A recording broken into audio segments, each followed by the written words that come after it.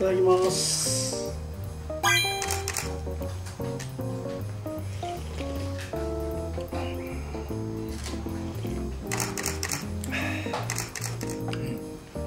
自画自賛しちゃいけないねうまい。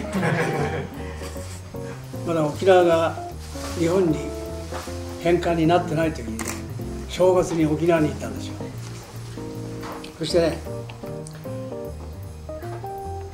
沖縄もさアメリカには占領されてたけど日本は日本だと思ってて。でだんだんだからどっかおとそを飲ませてくれるとこないかな。ないって言うんですね。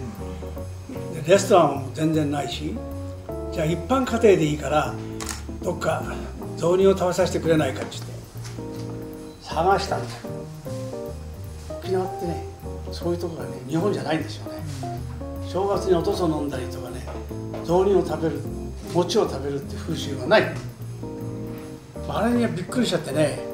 うん。やっぱりそれから、えー、と1週間経って日本に帰ってきてね、えー、1週間遅れの料理を食った時うまかったな本当に。